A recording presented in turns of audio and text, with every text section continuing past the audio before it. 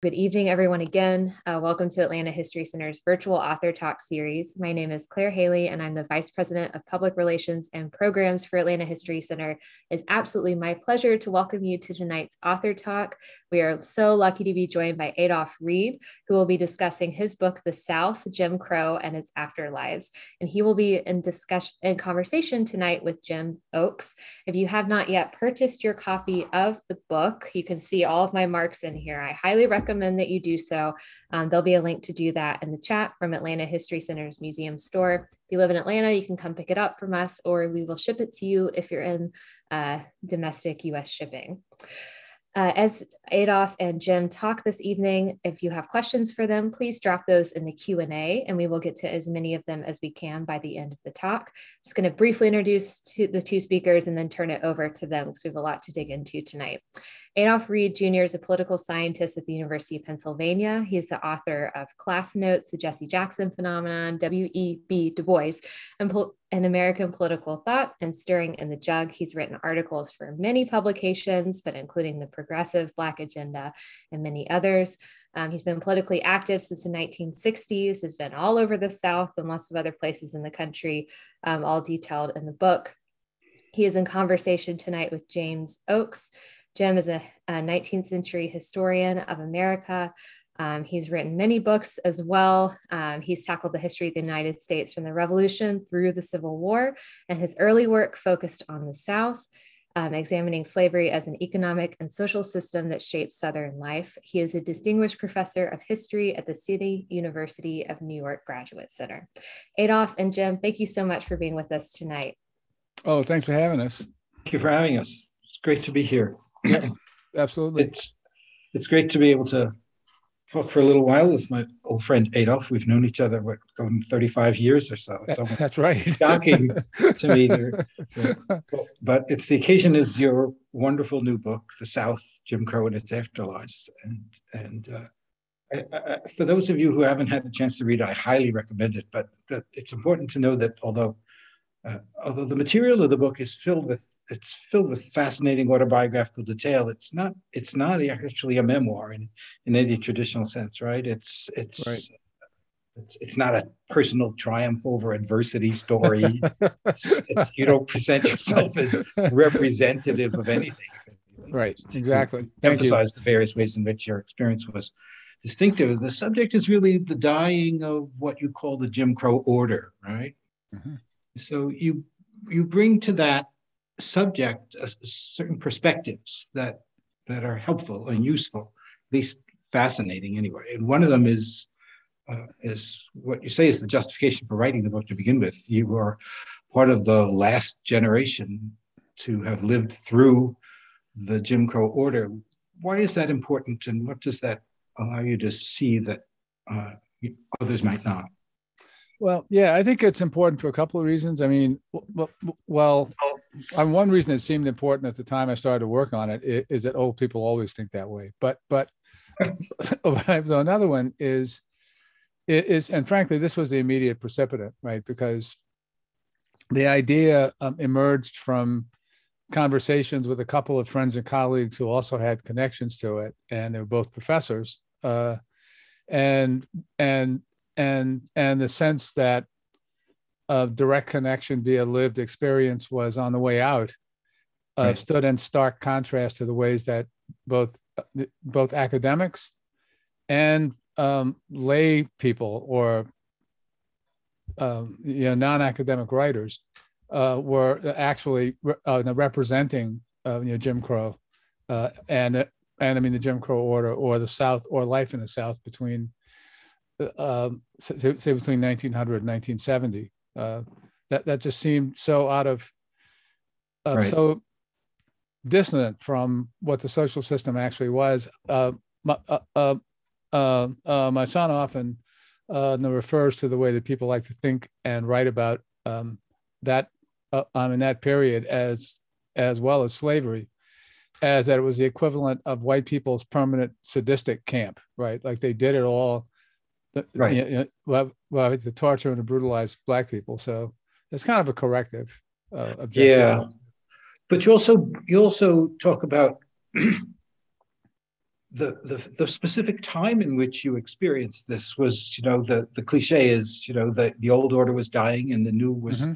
struggling to be born, and that that gives you a certain perspective because it exposes the contours of the system in in which you know at the height of its power and significance you might not see right, right.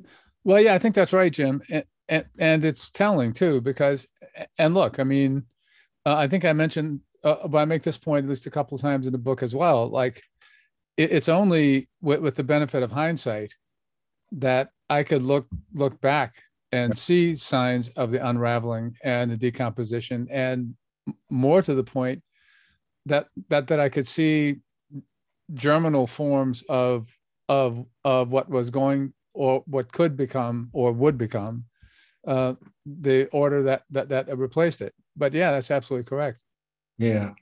So one of the basic observations you make, and the, uh, that's critical to understanding your larger purpose, is that uh, the Jim Crow order what we usually think of as Jim Crow, the manifestations of Jim Crow, the segregated schools, segregated theaters, segregated lunch counters, you know, uh, uh, that those were in some sense superficial, mm-hmm. but but not at all trivial in terms of right. the day-to-day experience, and and that's where your book is is so moving and and powerful. Uh, uh, uh you talk about, you begin by talking about uh, Jim Crow in your neighborhood in New Orleans mm-hmm. and negotiating just the local codes. Why don't you talk a little bit about this? Yeah, well, well yeah. I mean, um, I like talking about this because uh, because it helps helps to underscore um, a way that I was like really really stupid for a long long time, uh, and and it's this that that that um, so as in a number of other older southern cities, which doesn't include Atlanta, but I mean places like Charleston and probably I mean Savannah, Richmond. Um, the patterns of racial occupancy by area or neighborhood um, weren't necessarily strictly segregated, right? Um, and and what made me feel stupid was it was only when I read Thomas Hanchett's book on Charlotte of you know North Carolina from 1900 to 1975 that that that I realized that neighborhood segregation in the South, in, in the southern cities, was first of all the product of the introduction of the idea of the neighborhood as a as a distinctive place where one lives as a way of giving a, of making a statement about one's position in the world and that that didn't come into existence until the early years of the 20th century. It's part of um, uh, the spread of or, or, the birth of of a real estate industry, right, mm-hmm. uh, in, uh, in urban areas in the early 20th century, and the moment at which that real estate industry was born, uh, which was precisely the moment of of a consolidation of this new uh, what white supremacist order. So so so my neighborhood in New Orleans was was an older one, and and and like a lot of them there is like roughly 50-50, uh, black and white, and, and um, and the patterns of separation were also a potpourri, right? Uh, in some portions, it was like whites on one side of the street, blacks on the other. Some portions it was whites on one half of the block, blacks on the other. And and and in that context, people kind of had to figure out uh, what what an unofficial etiquette of neighborhood life was going to be like, uh, right. and and they did right. They worked it out, and, and it was improvised, right? It was like folk uh, you know, development, uh, but it was also the case that uh, when the whites who were sort of friendly, uh, and of course the friendliness is like within boundaries, right? There's no popping into each other's houses for coffee but but often enough, whites who are very friendly in, in the confines of you know, of the neighborhood would, would stiff you basically if they ran into you in some other context. And at the time, and you know, understandably, it felt like they were being two faced. And in retrospect, they probably were, like in some ways, but they were also trying to navigate this system that they didn't have any part in creating either. Uh, so So one of the the fact that these codes were local is also an aspect of the system. On the one hand, there's a a, a kind of legal superstructure to Jim Crow that right. is consolidated in the lab at the the very end of the 19th century, but it also varies from place to place, and that means, right. for example, uh, traveling is oh. Oh, it was a colossal. Fraud. So you have you have yeah. two experience, three actually, the experience of flying and stopping mm-hmm. at an airport where, right, right. where you don't know which restroom is the right restroom, or right. sit, getting on a trailways bus and wondering, right, you know, sitting in the back because if you stopped at when you stopped at Monroe, Louisiana, or something, right. you don't want to get off the bus, right, or driving with a car and having to stay with friends because you can't stay. You know, so right. it's not just about negotiating local codes; it's the not knowing what the codes are from one place to another that makes the system so so irrational and arbitrary. Oh, totally. And, and I mean, I and and um, even at the time in the '60s, like I thought that if you're going to do it, you should do it the way the South Africans did it, where it was the same thing everywhere, right? Um, right. But, uh, but like for instance, uh, probably some people like in the audience uh, want to know this, but in Montgomery, Alabama, and this was one of the immediate precipitants of the bus boycott. But but uh, but but the way that segregation and public transportation was acted out was practiced. Uh, blacks would um, get get on the bus at the front, pay the money, get off, and, and then re-enter through the rear door. Um, and often enough, the bus driver pulled off just just out of spite, right? So one of the initial demands of the Montgomery Improvement Association was to end that practice, right? So they were looking for some parity and dignity uh, w- within segregation, right? right. Uh, but but there are all kinds of local variations, right? Right, right, right, even like that. And, and and then I mentioned too that um, um, in commercial culture, um, you know, different uh, well, commercial enterprises were likely to set different rules, right. right? Right. So, like in New Orleans, there were some department stores where you could try on hats but not shoes. Others you could try on shoes but not hats, right? and then people so uh, um, uh, um, picked from the buffet of offenses, basically, uh, to to to uh, to get a menu of the least unpalatable. Right. So this, uh, I thought about two things as I was reading this. One of them is the degree to which the arbitrariness and the irrationality of the system uh, is not is not I suppose in some ways is a symptom of its incompleteness, but in other ways is one of the things that makes it so oppressive. Mm-hmm. Right. Because you don't know. It's, no, that's right. What's so terrifying is that you don't know when you go into the next town whether the rules are the same. Oh yeah, uh, yeah. Well, the airport story. Um, so I was um, flying from Pine Bluff, Arkansas to New Orleans, and I thought that I had a stop in El Dorado, Arkansas. I didn't realize I had to change planes in El Dorado, Arkansas. So we landed in El Dorado in the DC 3 from old Trans Texas Airlines. And I get deposited w- with my suitcase on the tarmac. So it's 1966. So it's like two years after um, the Public Accommodations Act was passed, which uh, which means all the signs in places like airports uh, that you know, designated the racially separate waiting rooms had been taken down. Right. But it's a Sunday afternoon. Uh, there's nobody around. I think it was like Palm Sunday or something. Uh, and I kept looking uh, from the tarmac uh, into the terminal for some sign of life so I could read a cue as to which door is the appropriate door to enter. And look, it could have been fine, right? It could have been that nobody would have cared what one way or another, but it could have been not fine. And the black person was always expected to know what the rules are, even if they just showed up. Um, so I sat on the tarmac and and uh, read for two or three hours in the kind of chilly air until my other plane came. Right, but it's also it's also one of those stories where it's the dying old order and the new order. Oh yeah, right, and you don't know. You're you're, right. you're, at you're at this turning point, and nobody knows what the rules are going right, to be that's yet. Right. right, that's exactly so right. there are several. Uh, you know, one of the things that I find so so powerful about the book is is the humanity of it. That is, you already mentioned that you know you could see your neighbors as two-faced because they won't recognize you in downtown the way they would in your neighborhood.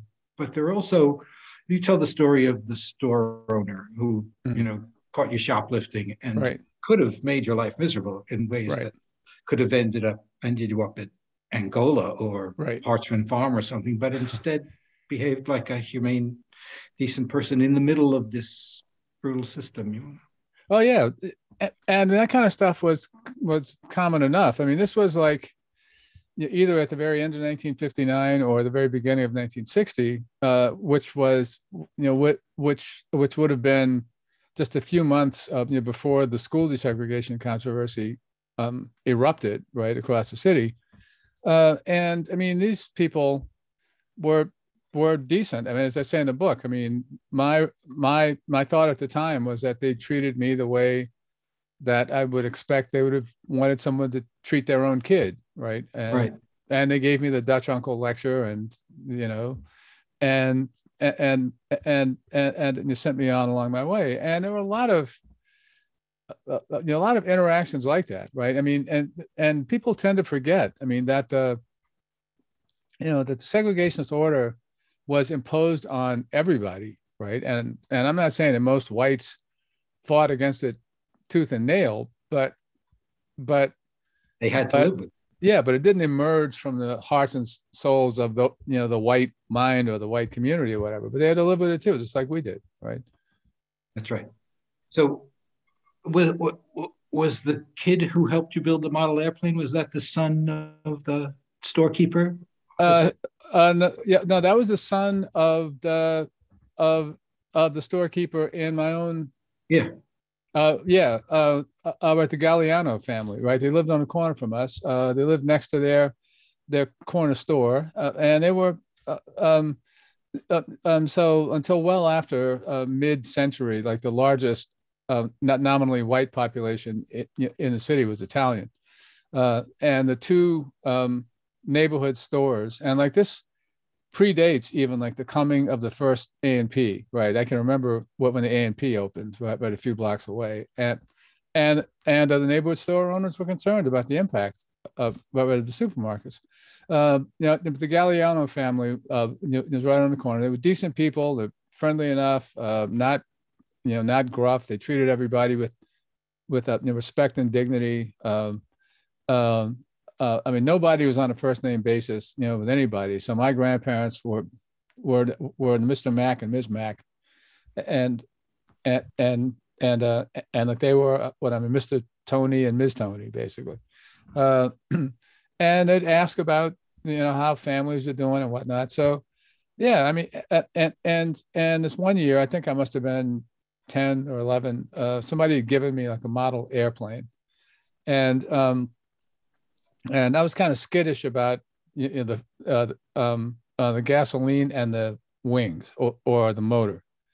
Um, so their son, who was uh, probably 15 or 16, uh, offered to come you know come down to our house and, and, to go out in the backyard with me, show me how to set the thing up and and and fly it. And we spent um, uh, the better part of an afternoon talking like I would talk to any teenager, right, uh, who, who would ask about school and life and right, baseball and so forth and so on. And, and, and it was just, and then right, um, you know, I don't think I ever saw him again, but there wasn't wasn't any particular reason to. He had his life, I had mine, and and and I think he went on actually uh, to be a planner in local government, but I'm not sure it's the same guy yeah so it's it's these it's these human interactions in the context of a system that is terrifying in, a, in, in so many ways that right. that you capture so beautifully in the book the thank you the the the, the afterlives of the subtitle uh, are uh, sometimes political and sometimes e- psychological right mm-hmm. so you tell several stories about uh, experiences with police while they're driving. Mm-hmm. that that they're terrifying because right. because of what Jim Crow was. Right. And yet they're surprising because they turn out not to be what what could easily have been.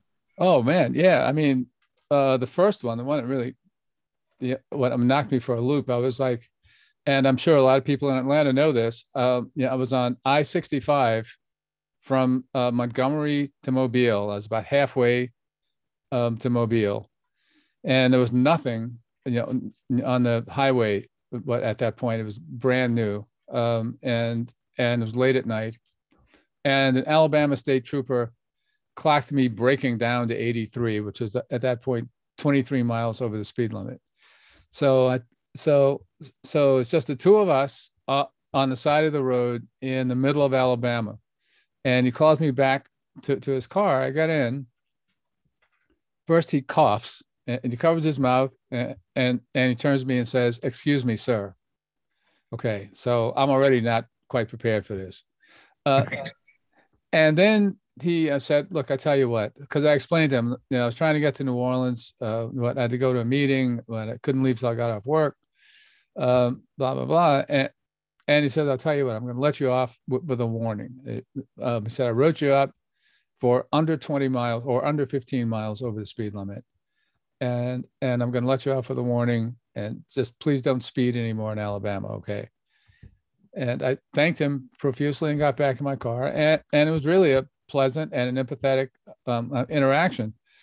The next one was about a year later, I think, probably. Um, I was driving in South Carolina um, from Greenville to uh, Charleston and was uh, about to get on uh, I 26 from I 276, I think it was, uh, Beltway.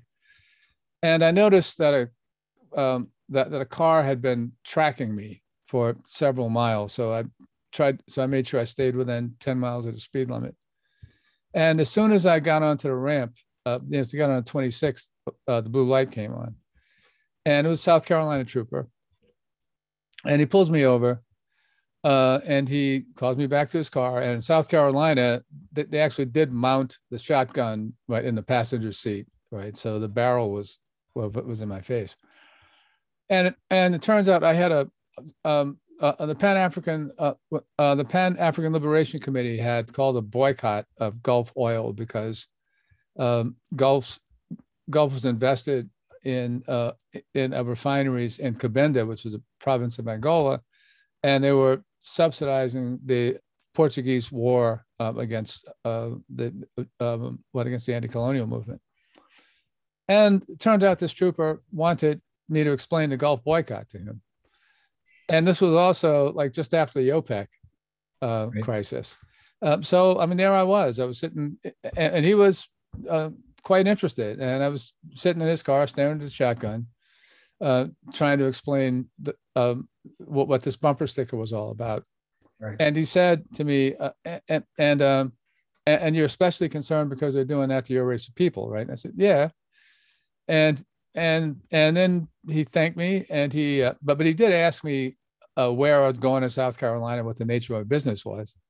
So I told him I was going to Charleston, uh, and and that was it. Right, I was off. Uh, and he was also pleasant, right? I mean, which was not exactly the kind of interactions I'd had I'd had with state troopers prior to that.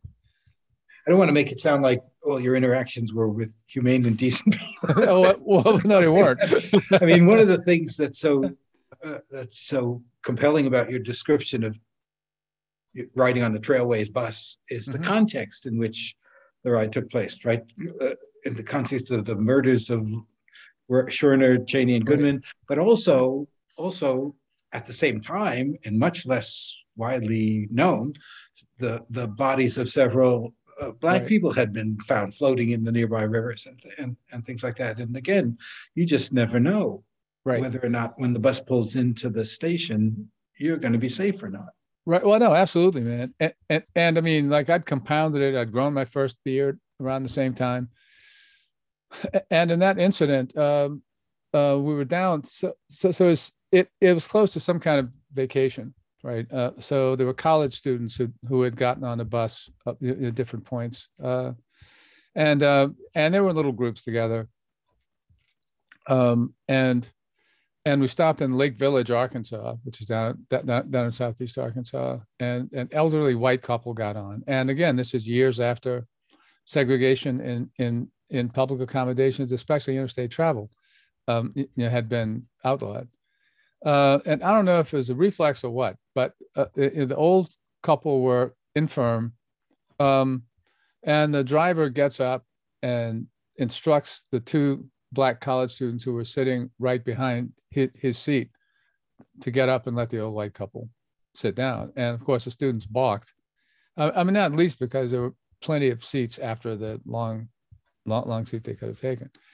And there was a standoff, right, for, pardon me, for several minutes. And I'm in the back of the bus with my pint of cheap vodka and, and uh, sipping and just watching this, wondering, right, and what's going to happen? Like, is this going to be when we all get, I mean, disappeared? I'm sure everyone, well, I know everyone was uh, very much aware of Schwerner, Goodman, and Cheney. It wasn't that far away. It wasn't that long ago, basically. Um, but eventually, uh, and, only about a dozen people on a bus at that point. But eventually, the bus driver thought thought better of it for whatever reason, got back in the seat and started driving. Yeah, yeah, yeah. So. I wonder if we can spend before we go to questions and answers, whether we can spend some mm-hmm. time on, on some of the big important themes you developed. You, you I mentioned earlier that you described these quotidian experiences superficial manifestations of a much deeper system, right. Jim Crow order, and and and I wonder if we can talk can talk a little bit about what that order was. You have a quote. There are several places in which I could I could have quoted you, but this one comes in the context of your discussion of of, of Floyd McKissick and the Soul City Project. Mm-hmm. You say something like, in one sense, the Jim Crow order was explicitly and definitively about race. And in another sense, it wasn't about race at all. Right. Can you tell us what you mean by that? What the Jim Crow order was? Sure. Um, yeah, I mean, I think of the Jim Crow order as something quite quite historically specific, right? Uh, and it's it's um, so, so like even take what I mean, take the big issue of segregation right? Uh, Charles Charles Lofgren's work on this is really good, but but you know other people have done done done quite good work on this too. Segregation didn't become a big hot button issue like in anybody's mind, black black or white, until Plessy, right? Until the Plessy case, uh, and and and uh, from emancipation forward. Um, at the state level and at the local level, uh, re- regulation or, or racial regulation of of of of that sort went in all kinds of different directions, right? So in some cases, trolleys uh, were Jim Crowed, and, and and trains were, and and and ships weren't. Uh, I mean, riverboats weren't. Uh, in some cases, it was the other way around. In some places, um, segregation was imposed after emancipation and uh, rescinded later and then imposed again. And, and, and in some places that went the other way around.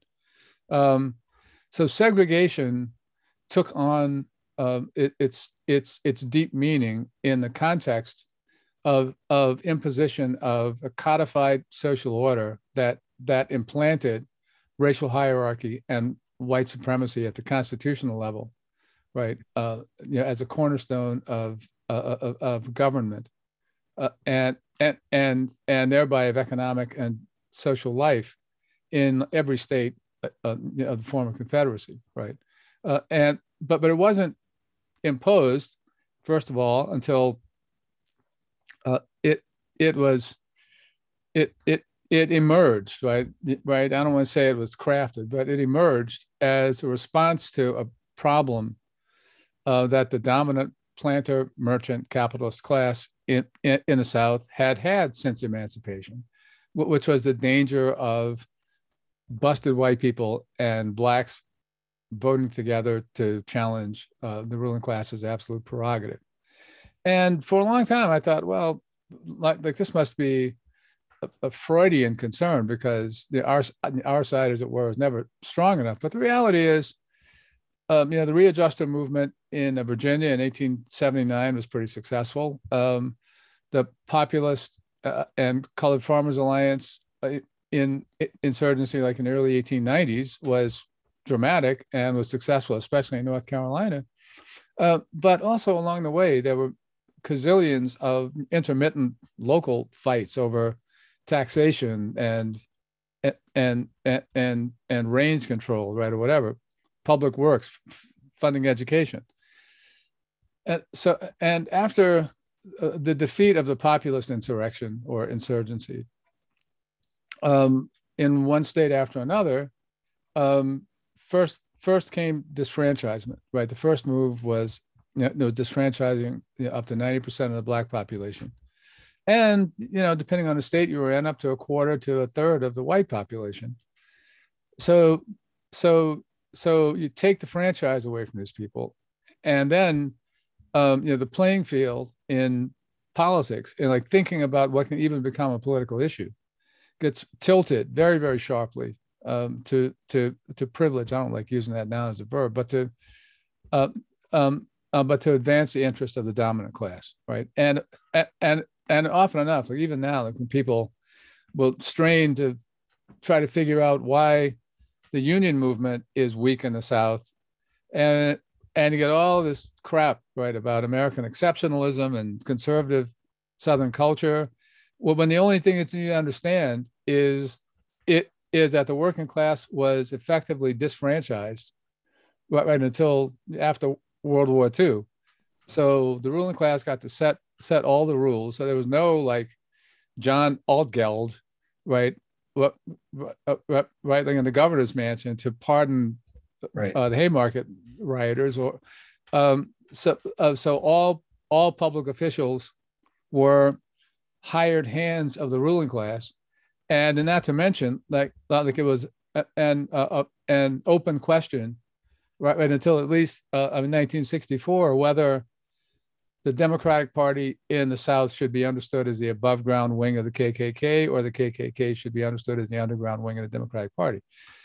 Uh, so, so white supremacy then becomes uh, certainly, as former Governor Charles Aycock of North Carolina said in 1904, in in, in reflecting on the you know, on the reasons for the putsch in in in 1898 that ousted the duly elected um, po- populist populist Republican fusion government, that we needed to have the strength that all comes from thinking alike, right? And what that meant was that white supremacy, or, right. or the rhetoric of of of a white supremacy as as as the sine qua non of politics was imposed on whites as well as it was on blacks and it's that period right uh, i mean the period of, of imposition to consolidation of of that order and its gradual uh, uh, disintegration after world war ii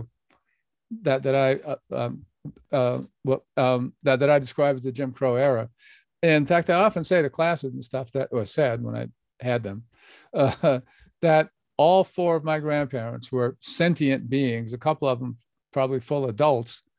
By the time uh, you know the Jim Crow order consolidated into a normal politics and a normal life, and its back was broken by the time I was 18. Right. Right. So so so so it's a finite moment.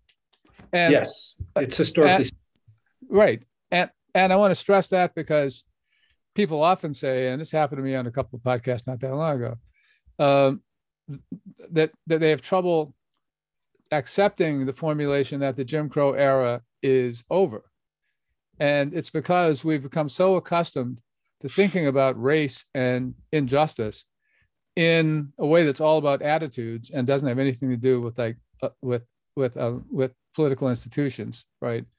So or political or political economy. Right. That's right. Exactly. Yeah, exactly. So when that when that merchant landlord political economy collapses, the right. whole politics changes. Right. Well, yeah, totally. And and uh, and and it's not determinist either, right? I mean, but I mean, like you need um, aggressive political forces, you know, to kick in an open door, even. Exactly. Right? Exactly. Exactly. So, uh, so one of the things that uh, we have some more time, so maybe we can discuss your really interesting short chapter on passing as a oh okay as a, yeah as a, as a manifestation of how historically specific that right. Moment in time was from say 1890 to 1940, however you want to date it. Mm-hmm. You know, uh, it's really interesting to me the way you describe that. It's... oh yeah, well thanks. Well yeah, I mean, so. um passing is, of course, something I've known all my life because it's just a common enough thing in uh, in I mean, South Louisiana. Uh, but but I've also been struck for a very long long time about you know the overwrought ways that people think about it, right? Um, in novels and movies and whatnot. Uh, for for racists like Thomas Dixon, like uh, what this was you know the horror but but, but to be uh, avoided and, and and and and and fought at all costs but for race men and women uh, passing was a marker well the um, a common fictional character is the black person the genteel black person who phenotypically could have passed but who didn't uh, because of a sense of mission to the race right. And of course, the reciprocal of that is that if you do pass, then, then you turn your back on your mission to the race, right? But but what I've found and saw and and understand to be true is that a lot of so-called passing was totally um, instrumental and right. flippant even right, right. Um, um, i mentioned that that on my way to high school like i saw a guy who who on the road the bus uh, and all the black people on the bus were convinced that he was a passé blanc, which is what they call him there. Uh, and he had and he had a job that permitted him to wear a tie and um, and a pocket protector with some pens in it, right? So he, he was, you know, not many black people had such jobs like that, and right. this guy was probably passing to have a to get access to a job that he couldn't have had access to uh, you know, otherwise. I I knew a family in the seventh ward um, who lived in two two sides of a double house. Uh, they had the same last name. Um, the fathers were first cousins and looked alike. And one side of the house lived as white, the other side, I mean, lived as black. Uh, and nobody made any bones about it. And, and there was no angst, right? There's no like, right. Uh, and I mean, as much as I love the version of "Soon I Will Be Done with the Troubles of the World" that Mahalia Jackson sings right in the crescendo of the second version of what of of of imitation of life, that that moment didn't really happen much. I mean, it might have happened, but in some cases, but that's not you know passing. Just wasn't a phenomenon that had all that Sturm und Drang about it.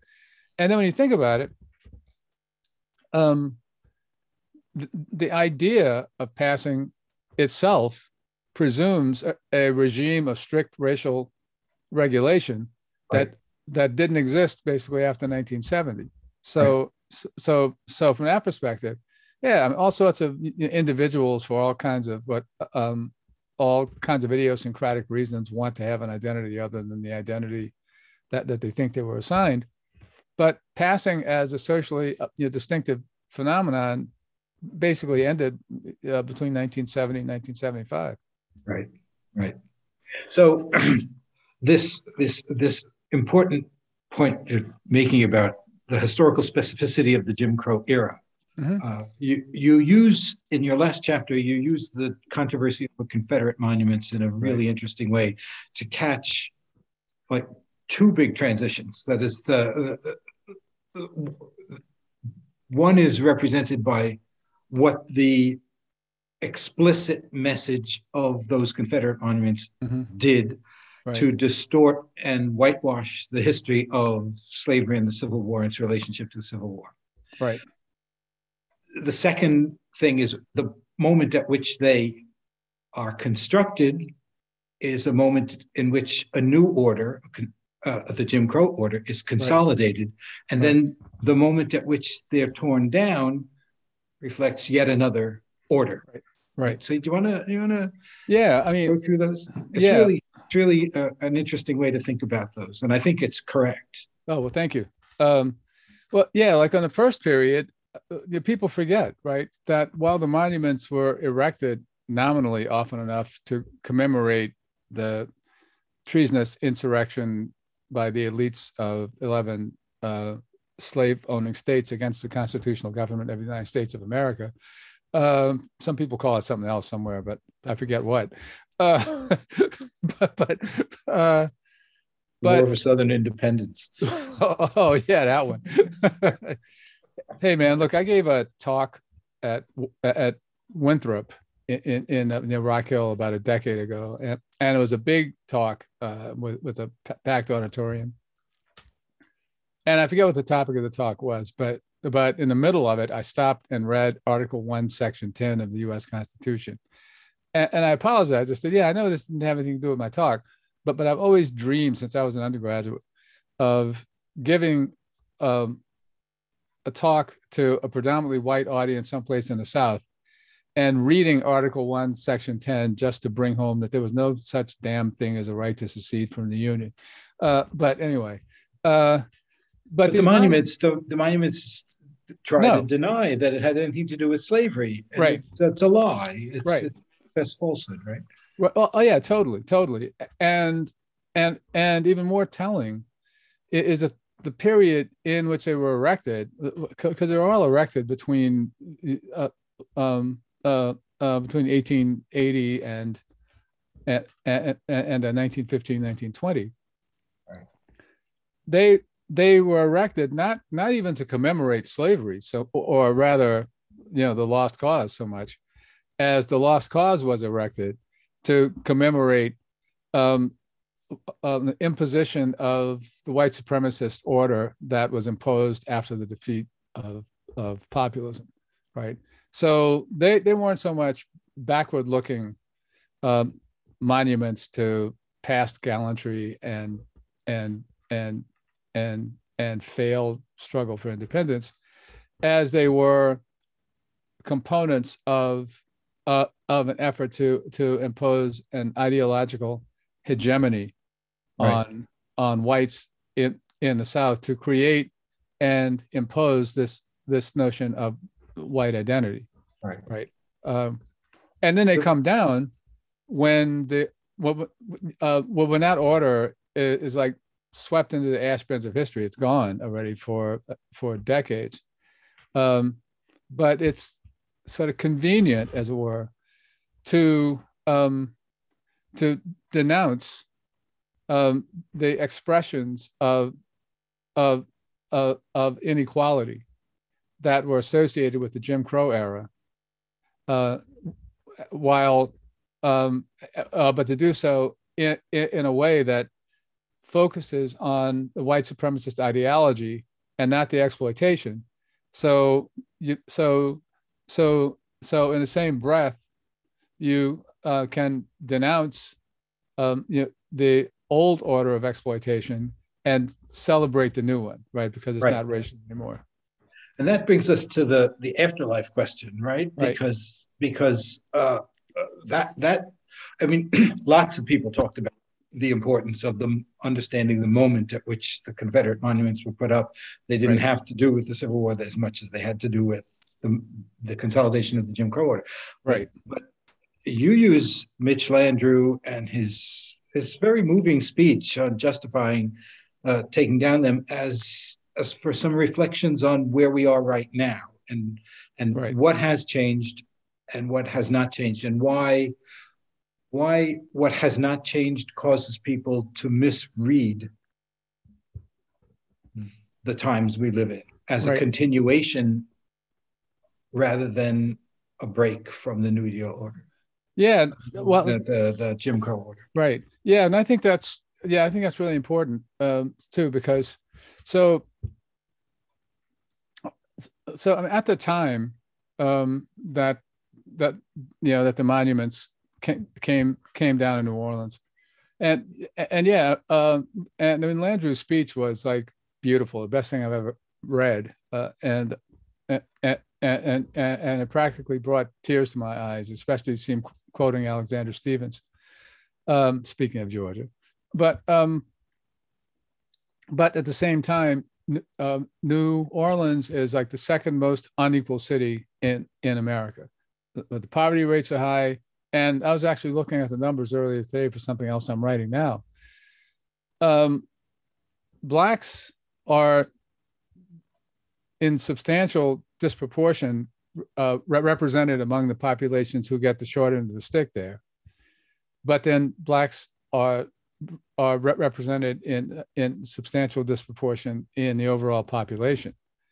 But but but at least a third of the white population uh, uh, works the same kind of dead end jobs with no benefits right from paycheck to paycheck, um, and with the same poor public health indicators and so forth and so on one of the things that's happened is is is a different system of economic exploitation has emerged right over you know the intervening century right? Uh, and and and and it's it appears to be a racial system still right? Because half a century well more than half a century of post-war racial liberalism that has disconnected racial inequality from you know, from political economy uh, sort of leads us to see what appears to be phenotypic uh, an overrepresentation of black people among the people who get the short short end of the stick as as evidence that nothing has changed.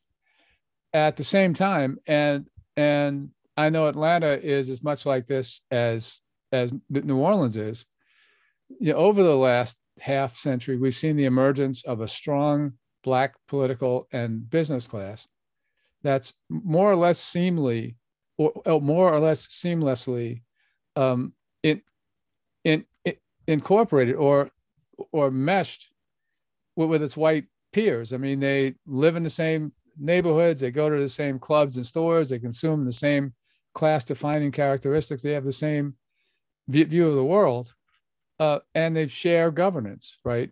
So, it so so so in that sense, in, in uh, and I mean this is one of the ironies of of of the Hurricane Katrina moment, right? Because everybody came away from Katrina thinking that it provided uh, um, evidence of how divided uh, uh, I mean the city was uh, with respect um, you know, um, to race and and, uh, and economic condition and opportunity.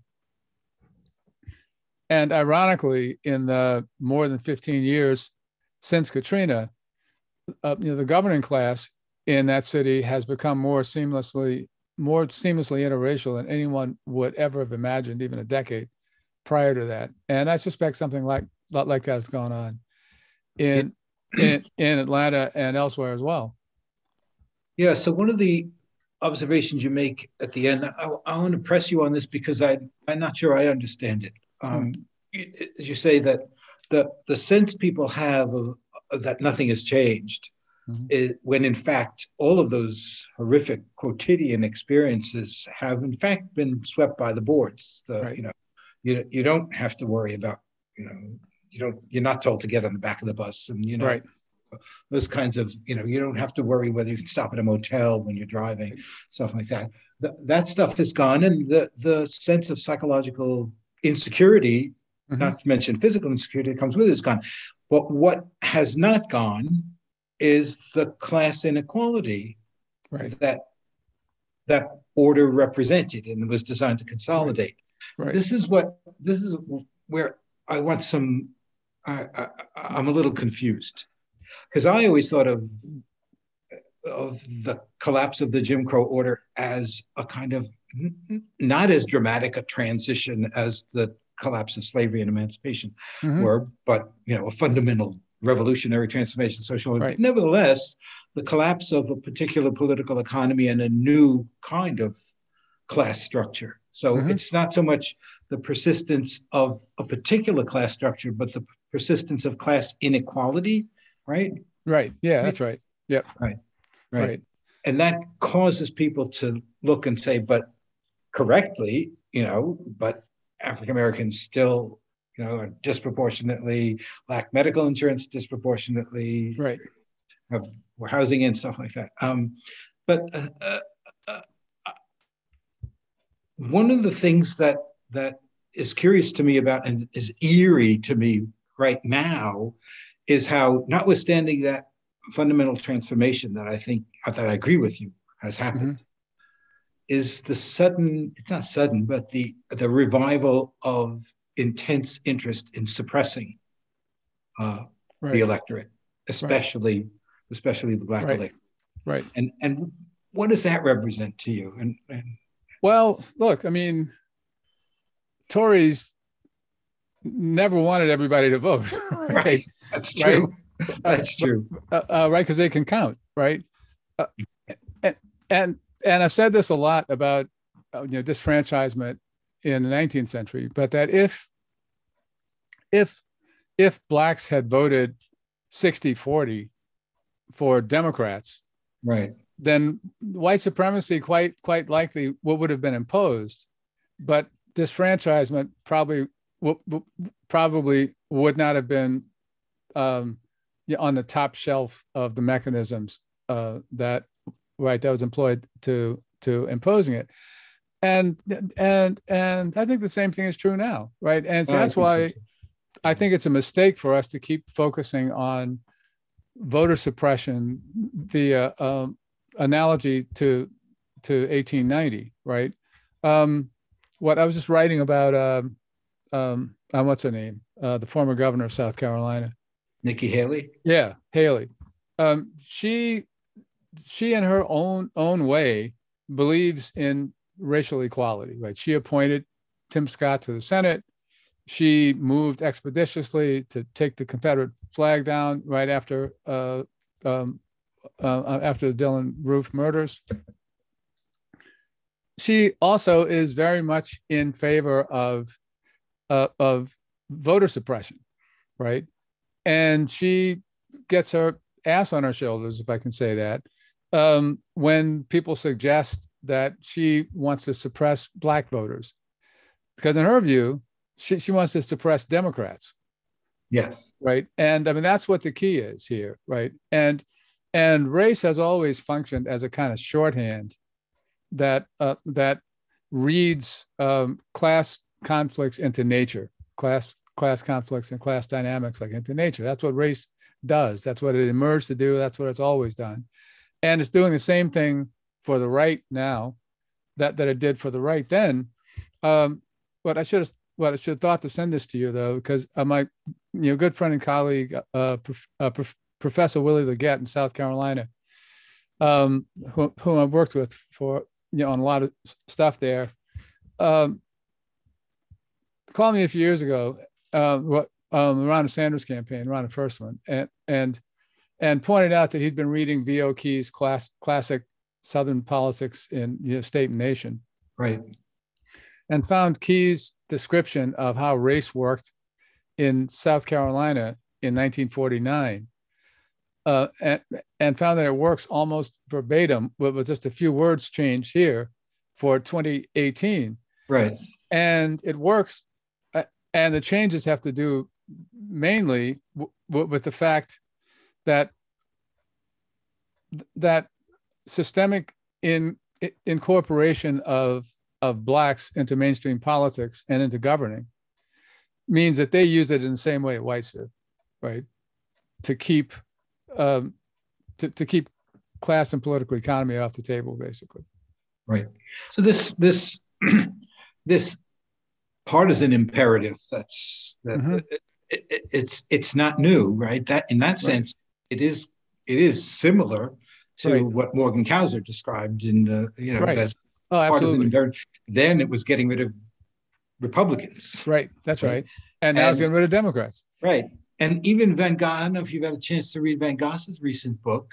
No, I haven't yet. No. He also says that the first waves of disfranchisement in in the post in the early 19th century North were mm-hmm. similarly driven Oh, oh, yeah, that's right. I've read some of his imperative.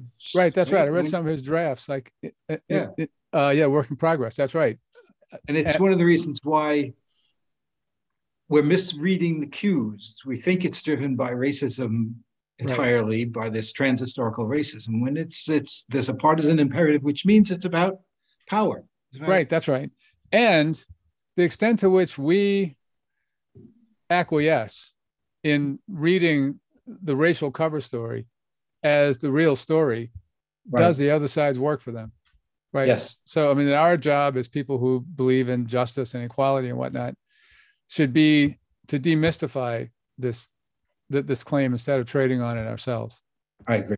And i think that's one of the things your book does just brilliantly. Just, well thank you very much james. I really appreciate it we're just about out of time i don't know whether or not you have anything you'd like to say no uh, uh, do we have any questions or well, I tried to read the one that was emphasized the what is changed and what what's uh. So uh, I, I don't see. Some of them are just a little more specific. Uh, I think you did that. Well, let's go 10 minutes over. We can do more questions and answers. So, sure. so I, I, certainly have time. Let me see if I can see any questions here. Uh, what do you think Jim Crow wasn't crafted when it came can't came off the heels of Reconstruction? Why do you think it wasn't crafted when it came off the heels of Reconstruction? I'm not entirely sure. Huh. This is uh, uh you mentioned the book on Plessy, but it's also part. I mean, I read that in like the strange career of Jim Crow, right? It was like oh yeah, period right. of indeterminacy, right. and that's right. Morgan Kousser gets more specific about it, right? right. It's not that that it's not. It, in a sense, it's not until Jim Crow gets hooked, gets linked with disfranchisement that it mm-hmm. turns mm-hmm. into something. Right. Oh, and I think that's absolutely right. And, and and yeah, I think it makes sense, right, to see the 30 years after emancipation as something like and um, um, a period of flux, or yeah. I, I, guess you could call it something like what, uh, like uh, I mean, the interregnum, right? But but but there was it was an open question, right? Uh, what the terms were going to be on which the South was reconstructed, on which Black citizenship was was consolidated, and especially in uh, in a relation to, to, to the dominant plantation economy in the South. And these things just got worked worked through right over time. I mean, it's not. Yeah, and it's it's, it's you made the point earlier about what was at stake for the merchant landlord merchant class in the late 19th century that would cause them suddenly to consolidate around mm-hmm. disfranchisement. But but it, it wasn't just the large questions of of who's going to pay for schools and who's going right. even down down right at the local level. I remember reading a study that said that, that uh, of lynching that said mm-hmm. that lynchings didn't happen if the sheriff showed up. it's, it's, when the sheriff didn't show up, that's when you got lynchings. So that and yeah. that matters politically because even if even if a certain portion of your electorate your election depends on the presence of black voters, the mm-hmm. sheriff is more likely to show up. Right. Right. Right. When he got some of his votes from black voters. Right. No, that's right. That's and they're exactly disfranchised. Right. right. You know, the disfranchisement and the wave of lynching are simultaneous and they, right. they're connected, right? Right. No, racial absolutely. terror racial terror is part of that uh, that system, you know. Um, so let me see if there's anything else uh, when you look at America and the way Black people are treated today? Has it progressed at a rate that you could have predicted? Did you expect the Black community as a whole to be in better social and economic standing than it is today? Wow. Well, um, that's an interesting question. I'll say, first of all, I'm not the kind of social scientist who makes predictions. I predict what's already happened and will explain why it had to happen the way it happened. Right. I'm what, but I'm that kind. Um, so I didn't have any predictions. And and as my old friend and uh, former physician Quentin Young, with whom I end the book, said uh, once um, that um, you know he was 80 in 2002, basically. Uh, but he said in response to a despairing uh, a med student that well. Um, nobody standing in 1950 could have predicted that within 15 years the back of the Jim Crow system was going to be broken. So um, and he's definitely right right about that. Um, I think that it would be good for us to stop thinking about the black community as a whole, right? Because I think that that's that's that's basically a class project, right? Uh, I mean, what I just wrote something about the racial wealth gap, for instance, right on this score. There's a sense.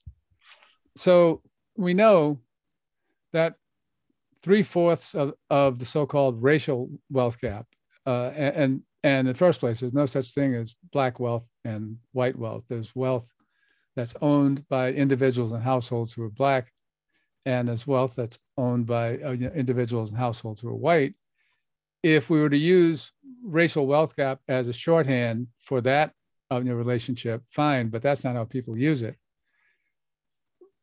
We know that roughly three fourths of the so called racial wealth gap lies between the richest 10% of white people and the richest 10% of black people. We know also that the bottom 50% of blacks and whites have no wealth. Uh, now, so, sometimes people who are committed to, to the notion of a racial wealth gap would, will uh, respond to that point by saying, well, but there's collective wealth, but there's no collective black wealth, right? There's no collective white wealth. In fact, the thing I just wrote was, I mean, since we all have have been conditioned for a hundred years to think of black people as operating with a hive mind, right? Uh, so that we all want the same thing. Somebody can speak, uh, well, we can speak for everybody. Uh, you, you, know, that point may may not come through clearly enough, but but but say, imagine a white nurse who is who who who has fallen on hard times, and and is facing eviction. And then imagine the possibility of her trying to dip into the pool of collective white white wealth right, to, uh, to pay her landlord or pay her mortgage, or even better, that, that she texts um, Jeff Bezos and and and and asks him to pitch in, but but because they're white together. I mean that doesn't happen. So what so what's going on here is that the whole wealth focus, right, um, is is is an extrapolation of the mindset of of of the investor class, right, onto all black people, right.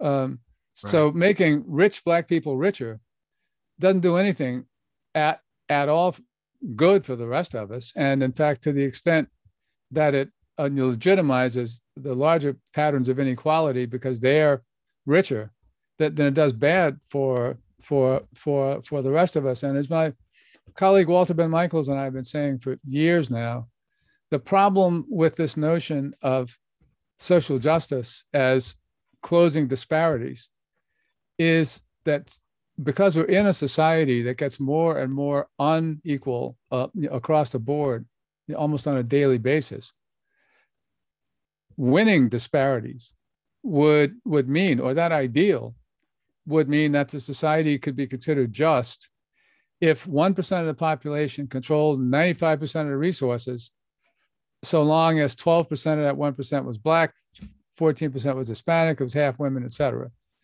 And that's a notion of social justice that's as legitimate to defend, like in a philosophy class, as any other.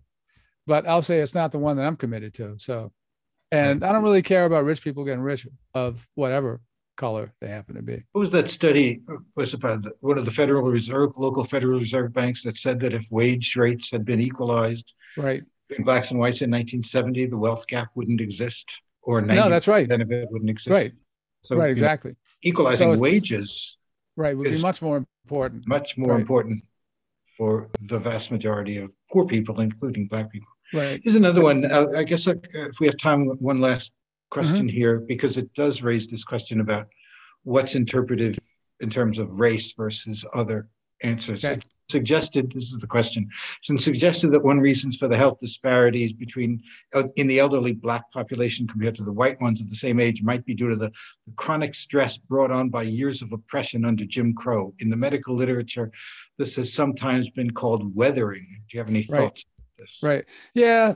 Yeah. I mean, um, uh, um, a friend of mine actually uh, has has uh, done a lot of work on the weathering hypothesis. Um, um, a sociologist named named named Arlene Geronimus. Um, there's probably something to that, right? Um, yeah, I don't know. Uh, um, I mean, as a rule, you can um, get rid of most of the difference by controlling for um, income and access to resources. Right. But, but same thing about Katrina, like when everything was, well, when the bodies were actually counted, right? Turns out that that that blacks and whites died in the storm and were displaced by by, by the storm in numbers that were roughly equivalent to their percentage in in, in the overall population.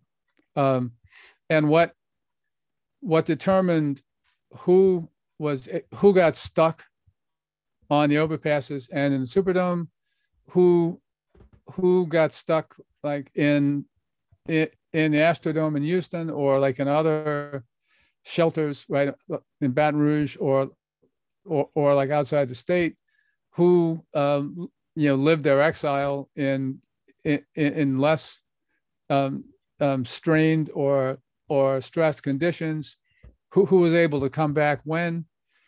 Um, the better predictor was always access to resources prior to uh, prior to Katrina making uh, I mean, landfall, and, and and and that was true for blacks, blacks and whites. Right. So, yeah, there's something so, to the weathering. I mean, hypothesis. I think there's also a tendency of people like to um, um, to see the 25 cent bet on the table and raise it $150, but, but, but, about that kind of thing. A little bit about, a little bit like what happened to the statistics on racial disparity in COVID. They, the, oh, the oh, Lord. went on, the more yeah. they disappeared, right? right. That's right. Right. That's exactly right. And by the way, I mean, people were yelling at me and me and Merlin for having pointed that that you know that out at the beginning. But but what's also really disturbing about it is how many people are sort of so infatuated with disparities discourse that especially you know that they didn't think about uh, the dangers of what when the sordid history of racial medicine and racial biology that playing fast and loose with biological discussions of of race difference can actually give uh, you, you give aid and comfort to. And and and in fact we've seen it now. Yeah there's a it it, it, it you see it sometimes in in what i think are very dangerous arguments for the epigenetic transmission right. of trauma of the trauma of slavery right. over the course of generations. It's getting awfully close, if not reaching a kind of genetic biological right. determinism that I think anyone concerned about race and racial equality should be resisting, not invoking. Absolutely. Yeah, it's absolutely correct. Yeah, yeah. So I think that's probably it. Uh, thanks, Adolph. Oh, thanks, Great. Jim. Thanks, Claire. That thanks to everyone in the audience. Thank you so much, Adolph and Jim. Such an interesting conversation. And if you enjoyed tonight's conversation, it might be a slim book, but there's lots packed in it. The South, um, Jim Crow and its afterlives, uh, available from Atlanta History Center. Um, if you'd like to join us for more conversation tomorrow night on our campus in person, we are hosting a conversation around our exhibit American Democracy mm-hmm. on voting and citizenship. So if you'd like to join that, um, you can find that information on our website. And next week's virtual talk with William Neuman is about um, the collapse of Venezuela. So also a very oh, interesting okay. discussion yep. uh, I think many of you would enjoy this yep. evening. Very good. So Adolph and Jim, thanks again. Thanks to everyone sure. in the audience and have a wonderful rest of the week. Right. Th- thanks a lot. Take care.